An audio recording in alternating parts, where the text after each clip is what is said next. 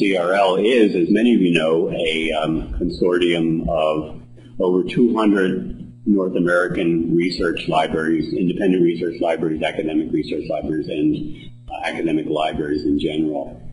We, we have been um, in operation since 1949.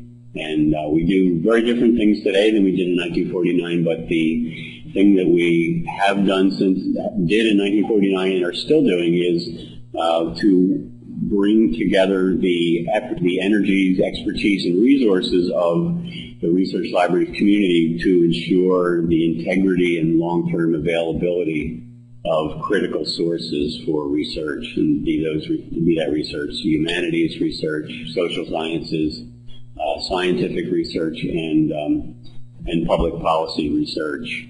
One of the um, collections that CRL was instrumental in uh, preserving was the um, transcripts. A couple of years ago, the Attorney General of Brazil visited CRL and um, told us that a collection that the Latin Americanist um, Area Studies Project working under the CRL auspices had preserved back in the 1970s and 80s was the transcripts of the secret military trials that were held in Brazil in the late 1960s and 1970s, at which um, which tried and um, resulted in the executions and disappearance of thousands of Brazilian citizens. Uh, it turned out that the copy of that those materials, the microfilm copy of those materials, um, at CRL was the only copy known at the time. So those materials are now, all 850,000 pages of those are now up on the open web.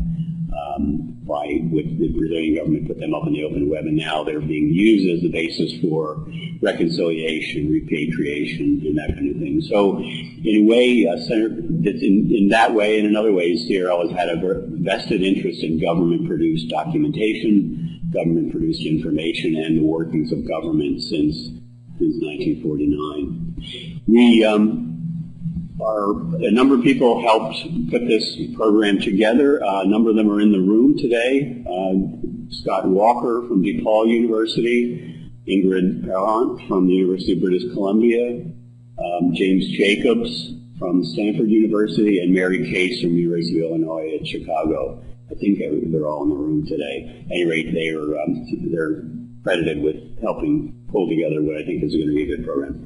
Um, our first speaker is Thomas Blanton. Uh, Tom Blanton is the Executive Director of the National Security Archive, okay, which is based at George Washington University in Washington, D.C. He's a leading advocate of government transparency and disclosure. Tom has been a leading activist or advocate of that since the 1970s. The National Security Archive, not to be confused with National Security Agency, has uh, was founded in 1985 by journalists and scholars. Uh, and it has a distinguished record of research and advocacy that defends and expands public access to government information. In uh, 2000, the archive won the um, U.S. Journalism's George Polk Award, the prestigious George Polk Award for, um, as the Polk people put it, piercing the self-serving veils of government secrecy, guiding journalists in search of the truth, and informing us all. Please join me in welcoming Tom Blanton.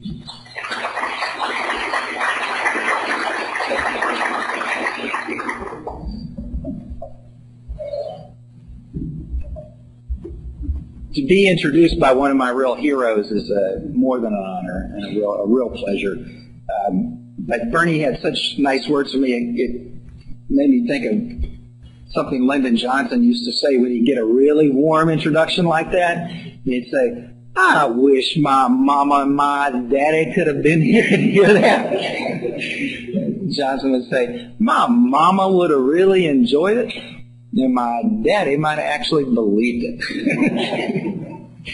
but uh, more to the point, I guess, was when uh, Henry Kissinger was doing his shuttle diplomacy, and a distinguished fellow approached him at an embassy gathering and said, Dr. Kissinger, Dr. Kissinger, thank you for saving the world. Kissinger, never loss for words, said, You're welcome.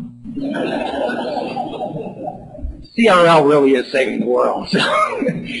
um, Bernie asked me to give a public policy perspective. And, and I just want to remark first on what an amazing program y'all have in front of you over these next couple days and the extraordinary resources that are already online from CRL about this whole set of issues that are each panel has a has a huge amount to grapple with. But and I was most struck by I think in the James Jacobs paper the story there were bunches of things that just jumped out at me, but but in there was a quote, an estimate, an educated estimate, where Jacob says there are more born digital government information items produced in a single year now than all the non-digital items in the depository library system for 200 years.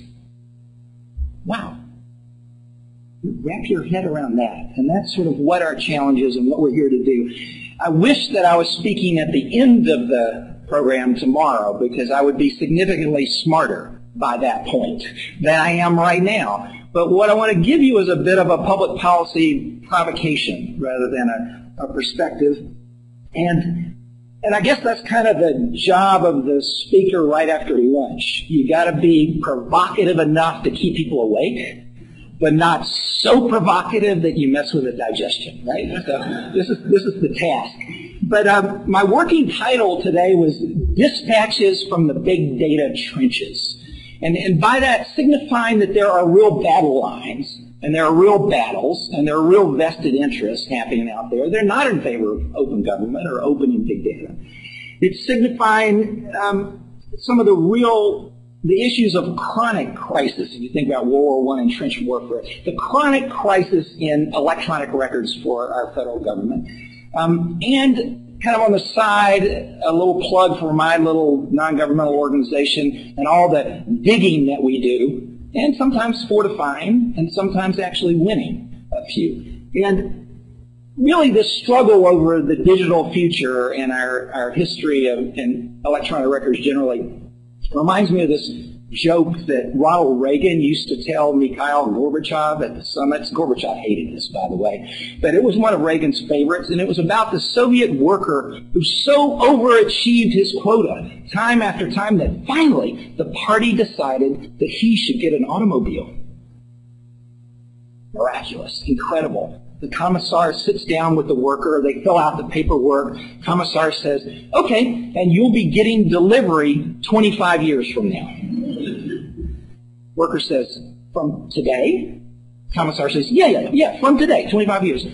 Worker says, morning or afternoon? Commissar says, 25 years from now, what are you asking, morning or afternoon? Worker says, the plumber's coming in the morning. That's our crisis with electronic records. Because 25 years ago this month, I was in federal court against the President of the United States and, by the way, the National Archives of the United States, trying to force them to save the White House email. 25 years ago. And last May, the National Archives finally put out some guidance, the capstone guidance. We applauded loudly, saying to agencies, save your senior people's email electronically. You're going to have to do that. Unfortunately, the deadline's not until 2016, but it's a step in the right direction about 25 years late. And this is what I mean by the chronic crisis. In the courtroom on the last day of Ronald Reagan's term in office in January 1989, we had found out that the National Archives had gone along with the White House in defining out of existence the email. They said, no, it's just telephone message slips. It's not records. We had hundreds of Oliver North's emails from the Iran-Contra investigations, hugely historic, covert operations all over the world being run by email. We went to the federal judge and said, come on, you can't let them get rid of all the backup tapes. Uh, we need an injunction. We need a restraining order. Now, on the other side of the courtroom was this uh, acting Attorney General of the United States. He had one of those walrus mustaches, went on to fame and fortune at the United Nations, name of John Bolton. You've probably seen on Fox News every now and then, but on that day, he was the last Reagan appointee standing at the Justice Department. And he says to the judge, you know what? We're just cleaning out the furniture. We're taking the pictures off the walls. We're making room for the new, um, for, for the new folks to come in, the new, new administration. And the judge was this interesting guy, Barrington Parker Jr., came up from the D.C. Superior Court and had some landlord-tenant disputes. He said, you know, I've heard landlords routinely clean out the apartment, but I rarely hear of a landlord piling it all up on the lawn and burning it. we got our injunction. We got our restraining order, created havoc at the White House, created havoc at the archives. Nobody was ready to take possession. There were, you know, hard drives thrown into boxes, or midnight rides. It was just a totally, it happened again, by the way, when uh, George H.W. Bush left office. But getting a little ahead of my story, the point here is just simply that we had to sue not just President Reagan, George H.W. Bush, but President Clinton. People in the Clinton administration wanted to settle, wanted to put in the kind of capstone guidance. John Podesta, working for Clinton, said we should do this. Save the senior officials. Anybody who's a political appointee, let's do that.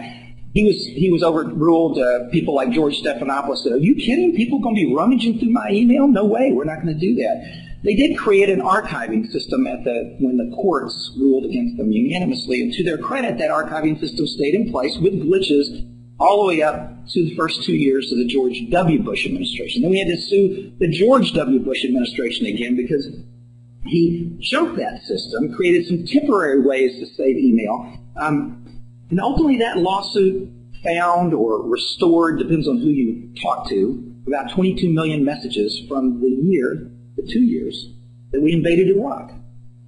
But it took a whistleblower. Think about that. From inside the White House IT staff who told us when you go back and look on specific days for email, why the Vice President's office has 16 days where it's zero email sent or received. Does anybody in this room ever have a day where you have zero sent or received? I know, I go away for two days, I come back, and it's, you know, it's overloaded. GW is sending me messages. You're uh, gets your quota now, right? I mean, it doesn't happen. But it happened then because of a failure to address the real sets of issues. And to get to the big data piece of what we're t- trying to talk about, let me give you the metadata. So, our little temporary restraining order saved, they estimate, about 250,000 individual email messages from the Reagan years. This is 1980s. Now, on an item level, that's about as many as Chelsea Manning leaked to WikiLeaks of the diplomatic cables. That's, big data, actually. From the George H.W. Bush presidency, that number is around 400 to 450,000. This is 1989 to about 1990, beginning of 93. Clinton years, the 1990s, invention of the World Wide Web. We all go on email. What's the number?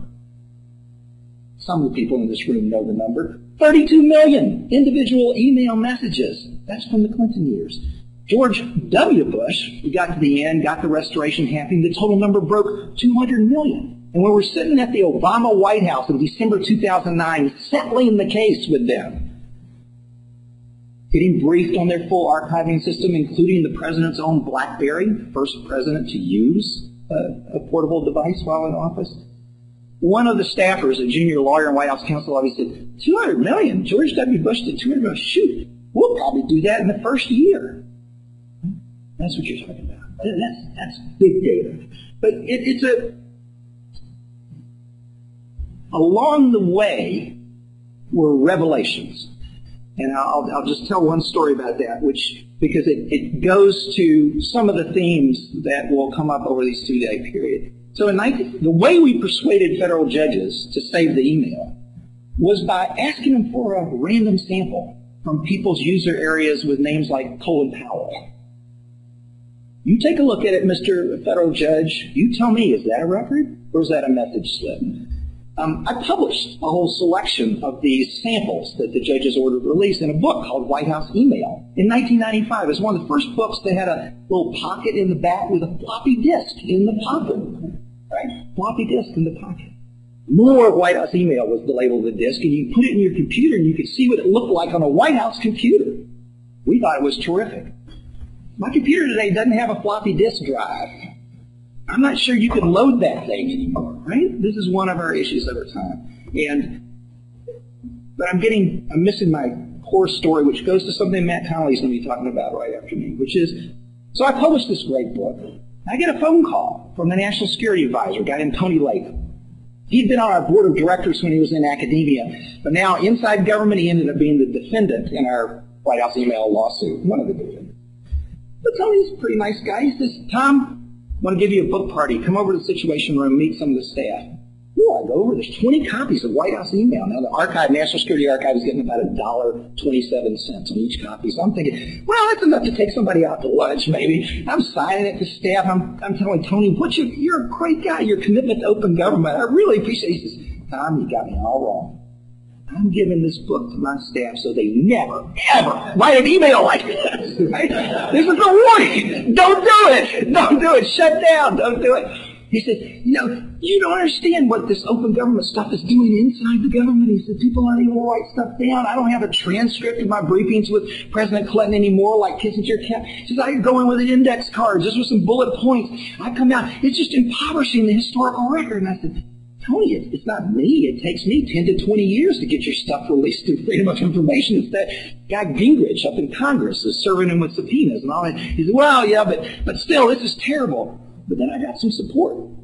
His staff director wonderful person named Nancy Soderberg, now the head of the Public Interest Declassification Board. Nancy's standing there. She said, Tony, Tony, don't exaggerate. You come out of the Oval Office. You got your index card. You come over and stand next to me. You start dictating messages. I'm just typing furiously. We're sending out dozens of them. You go stand next to Sandy Berger. He sends out hundreds of messages. You do it to every senior person. Any issue that came up with you and the president. You know, at the end of the day, there's probably ten times more documentary evidence of what you and the president talked about than in any transcript or any Nixon tape. So don't go fooling anybody. This electronic revolution means there's far more to deal with, and those White House email numbers, I think, you know, make that point. So the, you'll hear more about that and some of the barriers like just reflexive overclassification, spurious national security secrecy claims, the idiotic legal theories like the mosaic theory, which essentially means you can't think. You can't actually put two pieces together. It's like it allows securocrats actually to classify public data, this mosaic theory idea. Um, it, it's the opposite of a reasoned, rational, cost benefit, what's the danger, what's the identifiable harm approach to national security information. But the, the point I want to make about the long, uh, the long trend line for White House email, and it's just the tip of the iceberg in its way. We've had two decades of not saving senior agency emails. We have millions of lost records at the most senior level of the United States government, and we're never actually going to be able to catch up with that. Um, and even when you get really good direction, and I'm just great policy decisions, like in August uh, 2012 when the, the, Office of Management and Budget and, and, one of my other heroes, David Ferriero, signed a directive that goes out to all the heads of agencies saying, you know, guys, you got to change how you're thinking here. You got to manage all your electronic records electronically, but we're going to give you to 2019. You got to manage all your email electronically, both permanent and temporary, but we'll give you to 2016. Because uh, and there's a fundamental reality, and that's what I want to get to with the, the provocation piece. Um, the White House has been managing its email electronically with some bumps in the road and some glitches and some missing and some need to restore, but since 1993. And really, the whole United States government should have done so. And the blockages to that were only partly, I think, resources. They were also mentalities. They were also but this is the way we've already always done things. It's, it, it was hard to get over, I think, those those humps. And I just want to say, where there's a will or a federal judge, there's usually a way. And I don't want to be too critical because I'm a huge fan of the National Archives and Records Administration. I depend on incredibly terrific people who work there. I've worked in dozens of their reading rooms from Simi Valley to College Park. The National Security Archive, we couldn't do our work without the phenomenal professional access and efforts of the staff of the National Archives. But I just want to say the National Archives acts like an abused child. It's an orphan child in many respects. And, there, and it's just now, I think, coming out of what I would say on electronic records is sort of decades of, of those problems. If you look at the sort of bad news piece overall, you've got the flagship initiative, the Electronic Records Archive, is essentially a legacy system that's not even going to survive the end of this directive, the 2019 directive. It's just, it's not capable. It's got, in 2012, it had 131 terabytes. I'm sorry, that's a single collection system at the National Security Agency in a week. You know, it's just not even coming close to the dimensions of the problem. And I'm throw out a bad metaphor, but it, it's what the National Archives and Records Administration looks like to me today on electronic records. It looks like one of those home security systems you stopped paying the bill on years ago. You're basically dependent on the little sign in the front yard down by the sidewalk to deter the burglars. Occasionally some bells go off because there's still some wires in there. You can pretend you got something and you got some security, but really we, the taxpayers, stopped paying the bill on the security system years ago. And that is this extraordinary problem. And it's not just, there were moments, the self-inflicted wound, I think, of the White House email was a huge problem. That was ducking the challenge at a moment when they had federal judges and the entire openness community behind a potential real step up to the battle. And but that would have meant changing even the sort of mindset of the whole agency. Um, there was another moment in the middle of the 1990s. I've spoken and testified about this before. It was a turning point for the National Archives. President Clinton orders massive declassification of the Cold War records. And at a similar moment, in the early 1970s, when Richard Nixon decided to release all the records of every Democratic president who preceded him, Roosevelt, Kennedy, Johnson, big mass declassification, the National Archives leadership sort of went to the president, went to the White House and said, you know, to do this, we're going to need a bunch more FTEs. We're going to need some resources. We're going to need more people. And they got a couple hundred more people, 1970s. And those people went on to be the leaders at the career level of all the great things the National Archives has done over the years. But in 1994, 1995, when Clinton is doing this, we had an archivist who was a former governor of Kansas named John Carlin. I've had this argument with him, so I'm not saying anything behind his back. But he decided just to reinvent the people that he had and not ask for any new ones.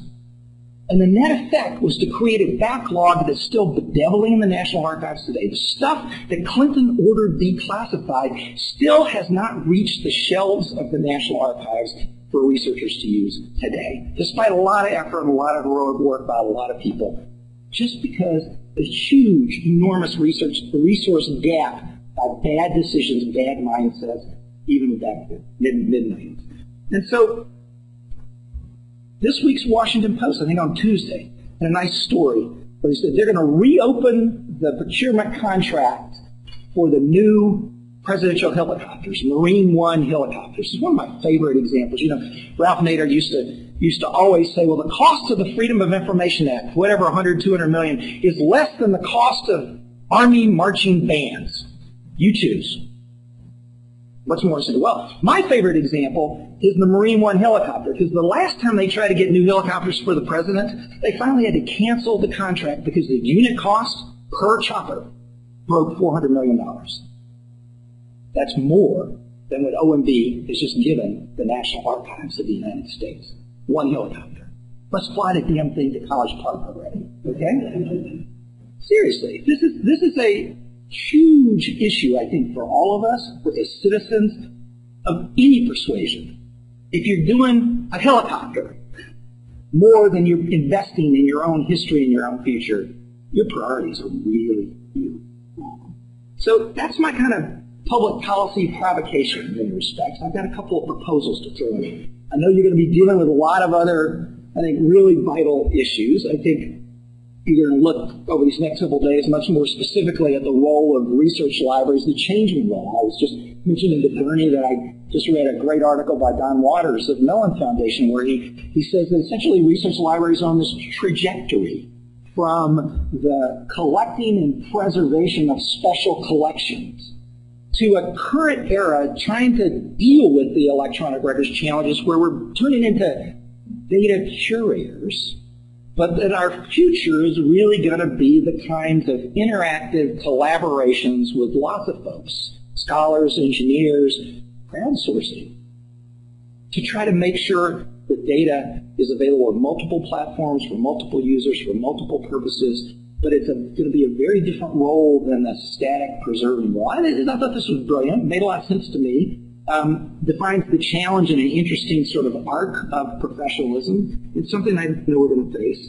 I think that you're going to, over this next day or so, you're going to deal, hear a lot of the not just the dangers, but also the incredible opportunities and what big data can bring to all of us as citizens and consumers and scholars. Um, and I'm just thinking, just in the, you know, what, two weeks ago, we got finally, after years of the American Medical Association refusing to let the government release it, the data on how much money individual doctors get for Medicare. And what we find out that the richest doctors in America, at least in Medicare, making $11 million a year are what, cardiac surgeon, neurosurgeon? No. Ophthalmologists. Ophthalmologists who choose to use the most expensive drug for eye treatment with the highest profit margin both for them and the pharmaceuticals. A good friend of Senator Menendez in, in Florida made $11 million from you and me, taxpayers, last year as an eye doctor because he used this particular drug. That, that's a big data breakthrough. Right? That's going to bring some accountability, some better government decisions, some better consumer decisions, some pushback by insurance companies, you name it. That's what a year ago it was the hospital operating data. Two hospitals, four blocks away from each other. One charged forty-nine thousand for the operation, the other charged one hundred and forty-nine thousand for the operation. Wow, that's some of the miracles that you can get from big data because you're going to see pushback. I think it's one of the reasons and President Obama's pretty lucky on this, and healthcare costs have flattened over the last few years as big data has made it more and more possible for us and others and the forces in the marketplace to actually push back against what were opacities that were deliberate, like by the AMA, to create what the economists call information asymmetries, which is where the biggest opportunities for profit are. So there are some incredible opportunities, but let me get to my, my finales, because I basically want to do what Deep Throat advised Bob Woodward to do, which is follow the money. And where's the money? Um, essentially, I would argue that the National Archives and Records Administration can no longer operate on the traditional archival role.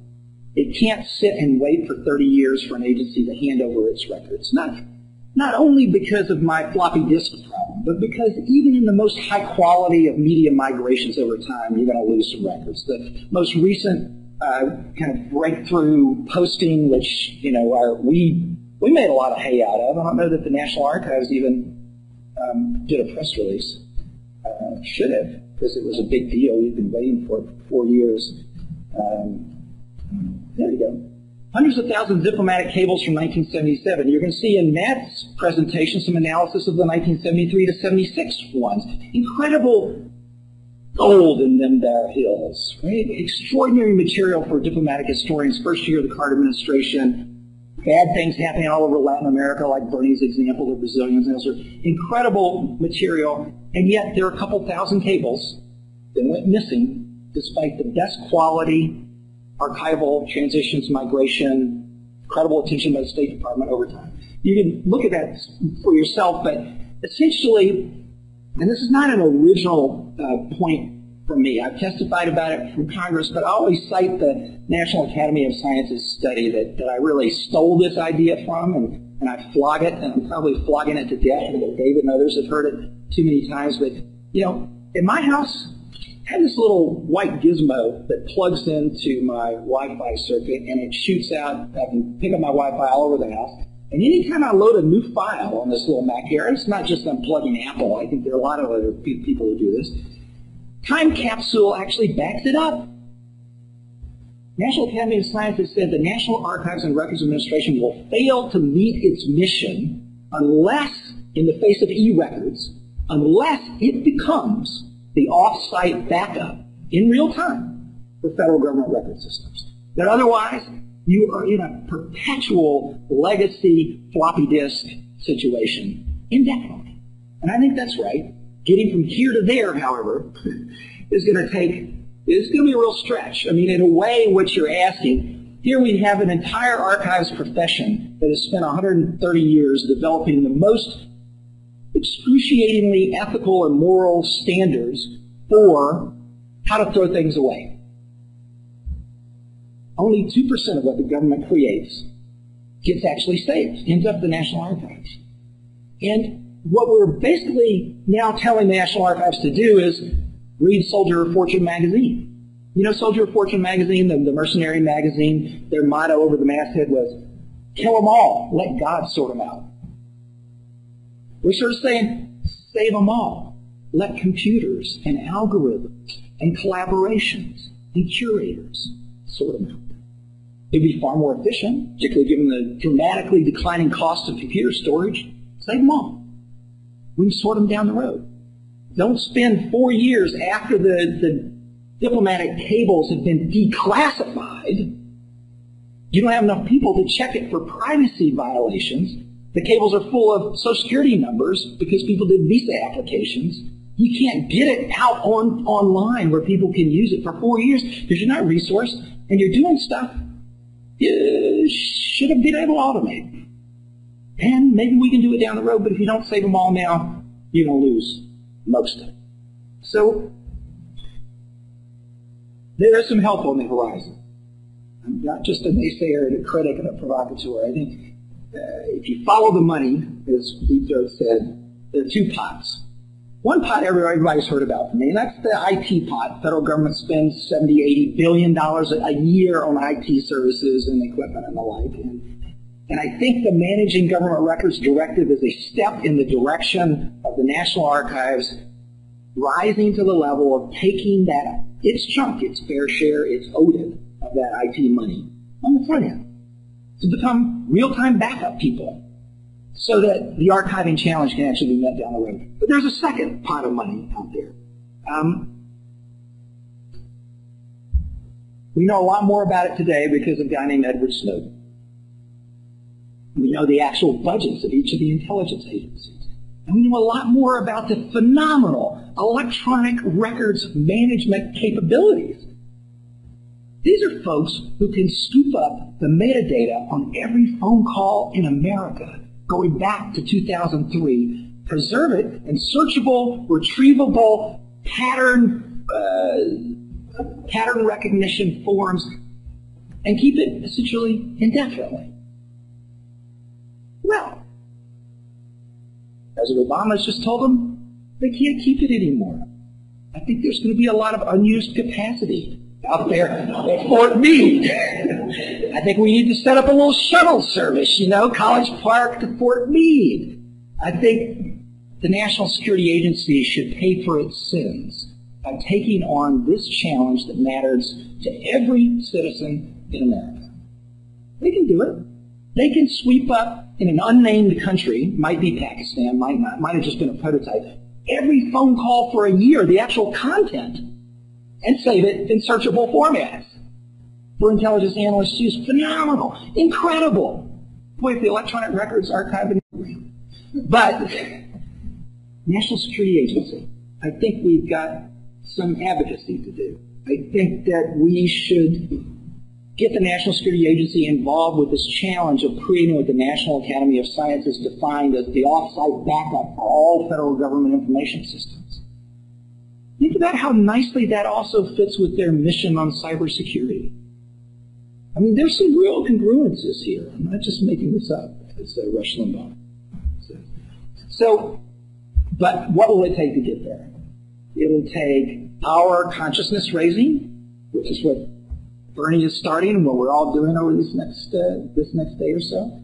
It'll take some advocacy. It'll take some coalition buildings. It'll take setting out some real targets and benchmarks. It'll take some real pressure. It's probably going to take some more lawsuits. It's definitely going to take some exposés on the crisis. I mean, there's nothing like a nice headline in the New York Times to get people's attention at the White House and elsewhere, and at OMB, which controls the budget.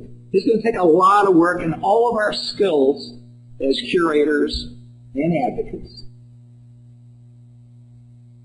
and in that struggle, I always remember what the Polish communist authorities always said about solidarity tactics. When, when two of them got together, it was an illegal gathering.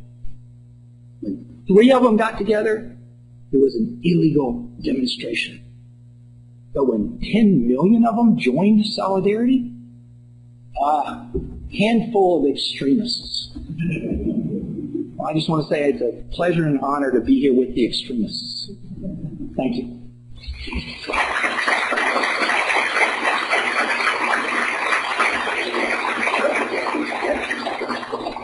Thanks, Tom. Really excellent start to the um, to the discussions. We do have a few minutes uh, for questions for Tom. I can't believe I didn't go over this. Sure. I'll, I'll, I I think there's a mic right there.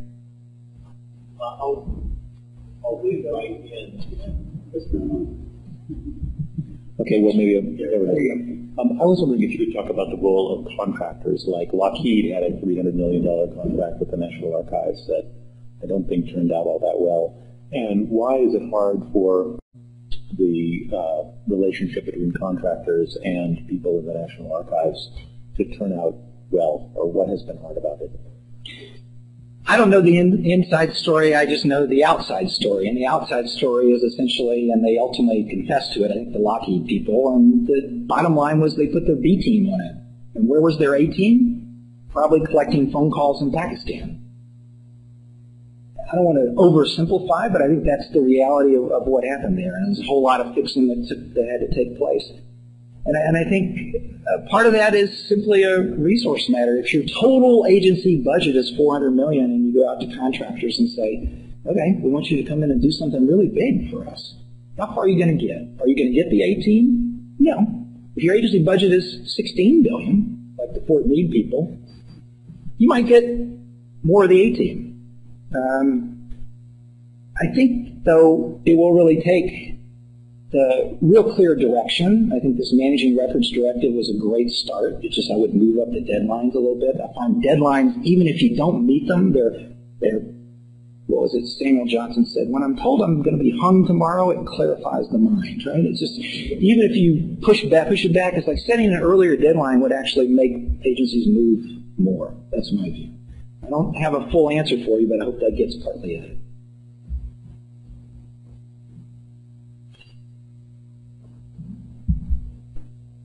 Hi. Can you hear me? Jill Moriarty, University of Utah. Uh, I am ha- rather skeptical that any security agency, let alone the National Security Archive Agency. agency, sorry, would willingly give up their information rather than purging it. I mean, if they were to turn over what they've gathered, that is proof of what they've gathered. Right. How would you address that? I think on the metadata, let me separate that out into two parts. Because one is the metadata and what they've gathered, and I think that's going to have to be purged because the president himself has gradually become convinced that in fact it was unconstitutional and illegal, despite it being blessed by 15 judges. I was suggesting a different dynamic, which is what the National Security Agency has done extraordinarily well is records management of whatever it was. Much of it totally legitimate intelligence collection that protects you and me from terrorist threats. What I'm saying is that's where the money is. That's where the expertise is. They're renowned at Fort Meade for hiring more mathematician PhDs, right, than anybody else.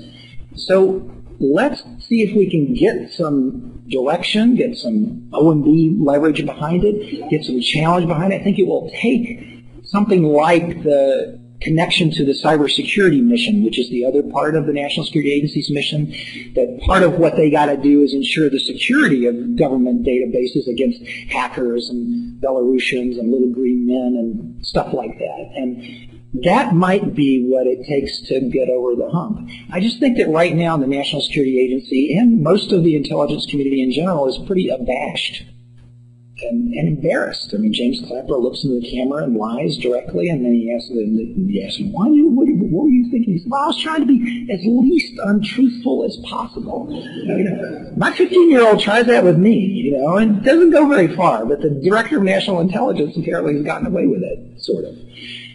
But it's a great time to tell them they have some civic duties other than just collecting all of our metadata. And it connects to one of their key missions. And I think it's their it's the technological prowess that we need to figure out advocacy ways. I'll be talking to people at the White House and saying, you ought to be thinking about this. And they got to, you know, pay for their sins. And here's a good way to do it. it it's might be pie in the sky, but I've argued for more pie in the sky things and seen them happen. So. Thanks. Thank you, Tom. Great.